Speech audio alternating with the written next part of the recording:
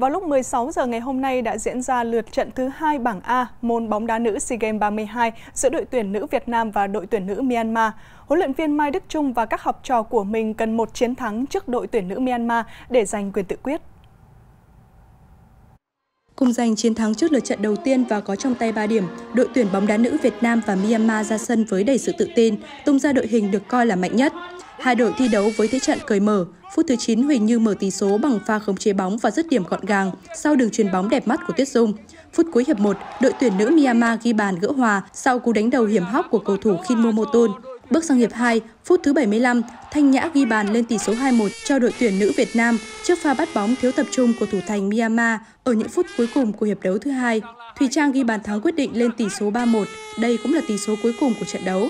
Như vậy, trước chiến thắng đội tuyển Myanmar, huấn luyện viên Mai Đức Trung và các học trò đã sớm có cơ hội lớn để tiến vào vòng bán kết môn bóng đá nữ SEA Games 32.